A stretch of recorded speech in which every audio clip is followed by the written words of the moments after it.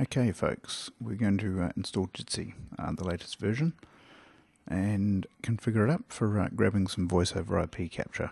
So I've just given it a uh, given it a start up. So hopefully I'll see an install uh, an install program come up very shortly. So we'll just have that come up. So here it comes. Yes, we'd like to run that. So while this is going, what we're going to do is uh, restrict it to a, uh, a couple of codecs so that uh, so that it um, records and that we can play it back. So I'm just going to uh, install this. I'm not going to auto start it for me.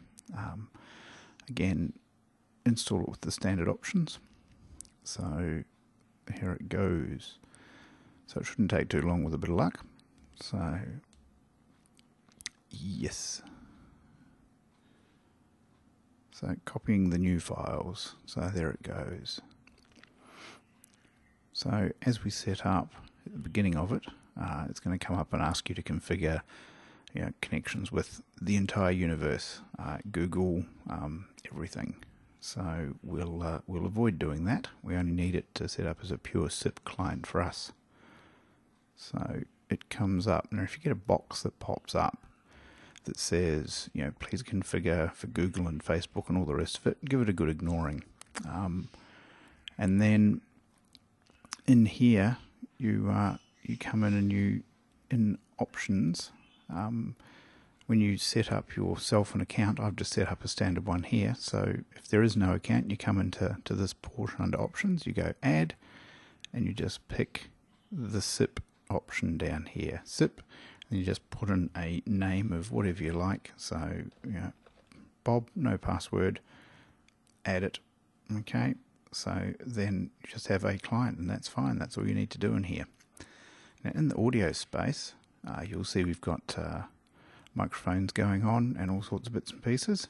In the encodings, untick everything except PCMU and PCMA because uh, I believe that uh, Wireshark is able to decode both of those, and having those uh, in train um, and available when we connect to a SIP server and do an echo test means that when we capture the packets, we can then hopefully listen to them.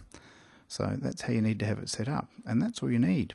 Um, and then at this point, uh, all we have is uh, when we hook up to one of our test servers. So I'll just grab grab a. Uh, oh, I've probably got. Uh, I've probably got some old. Uh, is Tess going to give it to me? I can't recall.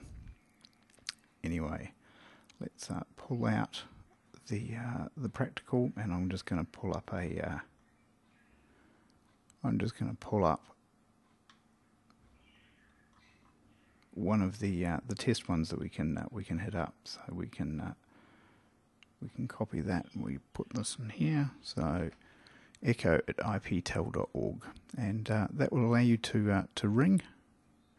So we'll ring via that one, and it will connect, and it will give you an echo test back through your microphone and back to the uh, the headphones, so you can hear what's going on. So what we're going to be doing is we're going to be catching some packets using Wireshark while we're doing the echo test. So that's it.